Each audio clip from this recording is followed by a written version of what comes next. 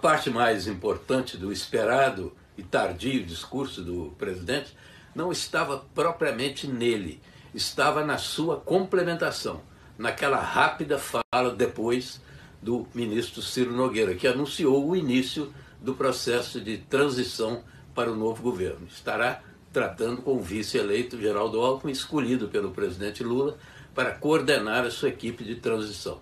Tudo vai ficando mais claro e já era tempo.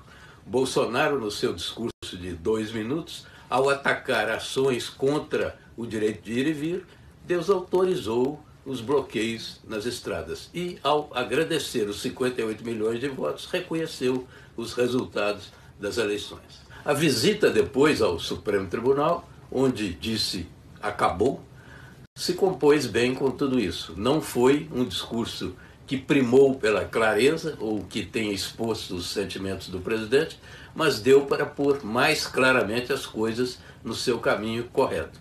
Agora, enquanto vão começando os trabalhos de transição, as atenções se voltam para a formação do governo Lula e seu programa, que ainda desperta muitas dúvidas, principalmente na área econômica.